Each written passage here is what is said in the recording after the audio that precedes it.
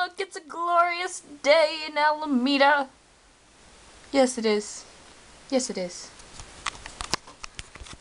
Hello, people who have subscribed to this channel.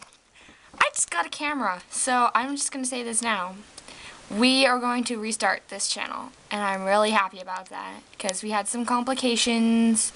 Um, I guess we just need to take a little break from it. We were all going through a little bit of a harsh time with this, so we thought it would be better to start up in the summer.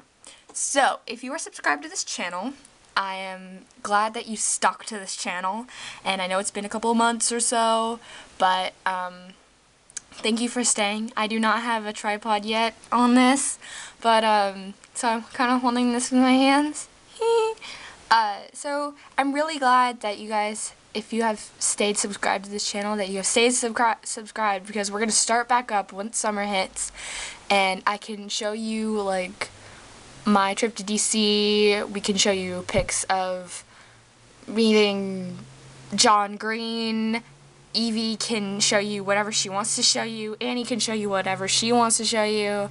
It's just we needed to take a little bit of a hiatus from this, so I am just gonna post this so that we can um, get it over with. So thank you, and um, Hope you weren't born on World Environment Day like I was. Anyways, um, and go to threadless.com, find an Earth Day shirt. Thread, so, yeah, yeah, yes.